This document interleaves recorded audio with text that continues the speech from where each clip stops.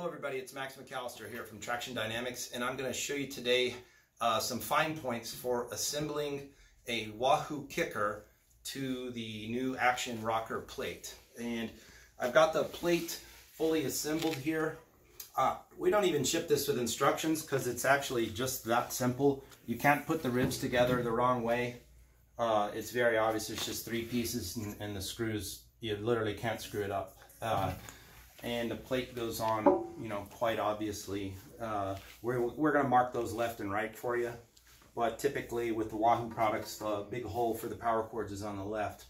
Uh, my only tip to assembling this is just assemble all the hardware loose on the ribs and then tighten the top table first so that you pull the ribs up flush to the top table, then tighten the screws that hold the ribs together last. That would be the only tip to that. Now to facilitate this, you roll the Kickr onto its back and uh, you're going to remove the foot, the adjustable foot on the front of each leg.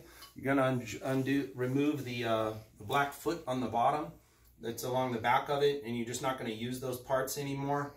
Uh, we supply you hardware to pass through the arm. You're just going to put the arms back in the frame and pass the hardware through. Our short spacer goes on the center area here. Long spacer goes on the end. And I've had good luck doing it like this, laying it on its back, and then taking the plate and kind of guiding it onto the holes there and letting it just rest. And now it makes it easier for me to get my hardware going.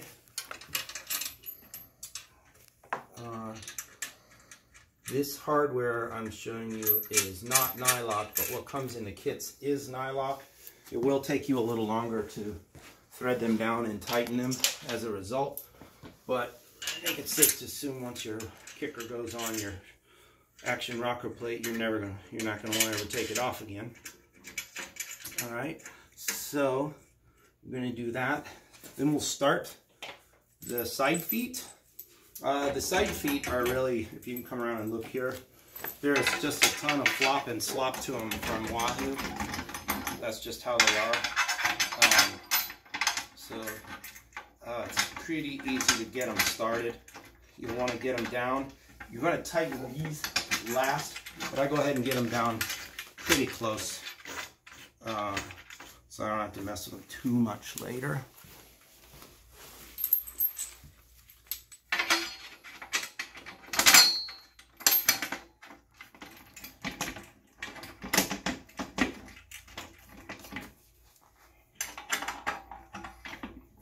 Uh, this is just takes a couple of tools, a 17 millimeter wrench, and you will need a 14 millimeter socket or wrench, and at least a crescent wrench so you can hold the top and bottom bolts depending on what's available to you at your house. Where's my stuff at?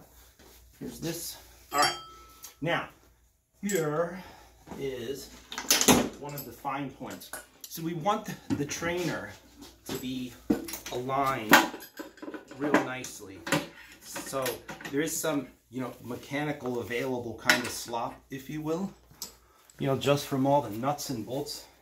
But we want to get the back of the main frame as parallel as possible to uh, the rocker plate, which is, you know, again, a, a perfectly machined part. So uh, I just propped this up with a piece of wood under here on the front you could use a you know a shoe box. It doesn't even matter what, what you got laying around. What we want is the uh, trainer to be slanted backwards so that it naturally kind of finds the U's of the holes and which are perfect and then it will self-align. So if you've got it kind of cockeyed, it could be a little cockeyed off. We don't want that. We want it to just find that nice natural center um, and in the bottom of the bolt bores and then tighten these two bolts first.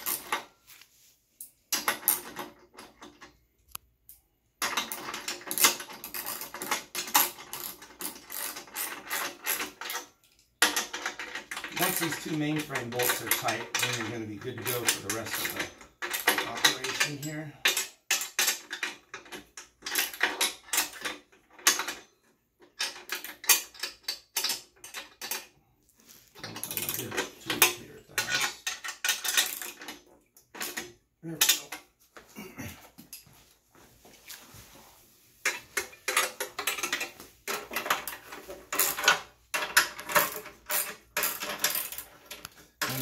Demonstrating this with a like $12 ratchet kit get laying around.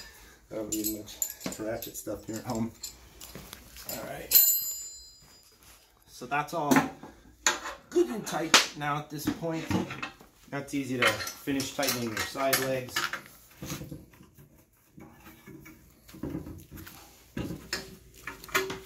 If you're an airplane mechanic, you're going to ask me the torque spec. There is no torque spec.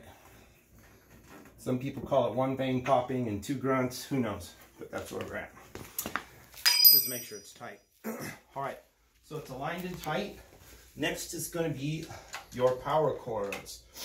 And this is again going to apply to any model of trainer.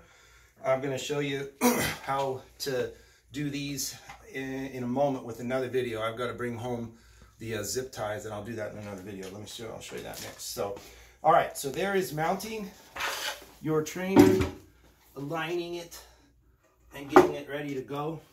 Uh, we start with kind of base counterweights of around eight pounds and I will show you in another video here in a minute how we are going to counterbalance these. So we're going to send you 10 pounds of weight. Their thin ones are one pound, the medium ones are two pounds. The caps are three pounds with the hidden thread, so they're nice and clean. Initially, don't tighten these bolts because you're going to have to dynamically get on your bike and go for a ride, and that's when we'll tighten those next. So I'm going to leave those loose for right now. I want to show you one more feature while I've got you here. um, I'm on a concrete floor, so we supply you with a roll of gaffer's tape. So if you're on any hard surface, uh, hardwood, concrete, whatever, run three bands of this uh, cloth gaffer's tape along the base of the rib. That makes it non-skid and protects the rib and the floor from each other. Take a razor blade and on your forward rib, slice out the gaffer's tape and expose this hole. You can easily find it by just pushing on the tape with your finger and knowing about where it's at. And I'm going to show you something super cool that that is for. So, this is for our, our chocks. So, it's very different. It's not easy to mount a trainer, a bike to a trainer that's rocking and wobbling. These just line up with our ribs very, very easily. Actually, let me show you what it looks like. Here, come, come here first. You're just gonna slide these under. The edge catches and they align, right? So that's all you're gonna do is push these under. You can do this with your bike assembled on here. So just find the rib, uh, push the chock into place, and there it is. Come to the other side, and it lines right up at the rib perfectly. So just slide it in until it engages. Now this is, might as well be your floor. Won't move at all in any way.